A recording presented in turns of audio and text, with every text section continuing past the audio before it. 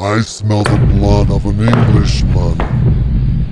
Be he live or be he dead, I'll ground his bones to make my bread.